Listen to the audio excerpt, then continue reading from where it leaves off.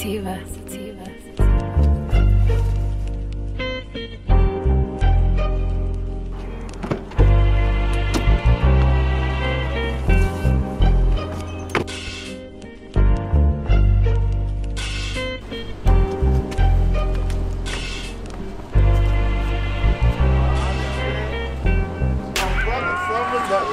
Fresher than the others.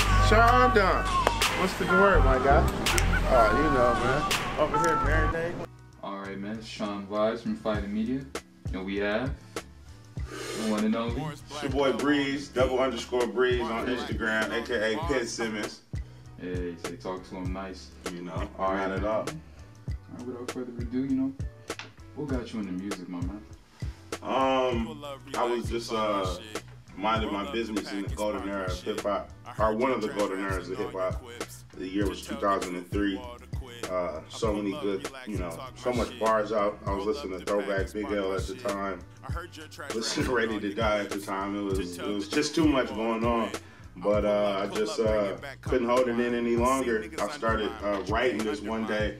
Um, I was going to this spot called Roberto, uh, this like alternative school, sitting in rap session. Just started writing, and um, you know, started with poetry earlier, but uh, by the age of like 13, you know, I was putting it to music and putting it to beats. I pull up and talk shit like Reggie Miller.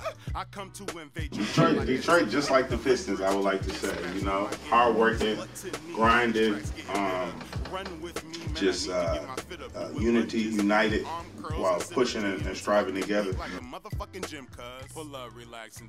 I mean, you know, if uh, if you got any bit of sense, you would uh, head over to raxplay.com and sign up, and then you could be able to take advantage of all the um, the offers that Biden offers um, from you know the venues, the shows, the um, the look at, the, the interviews. The opportunities are endless. You just gotta first uh, take that first step and uh, bridge the gap, and from there it's just it's on like Donkey Kong, via come.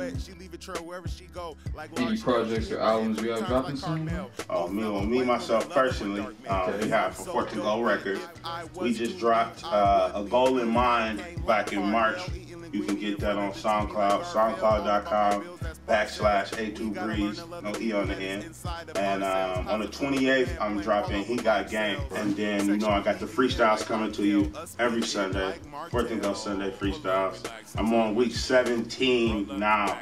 So on Sunday, I'll be dropping the 18th freestyle, doing 50, 52 freestyles going all the way through the year. With. Say talk to him You know what I'm nice. saying? Uh, don't talk to him at all.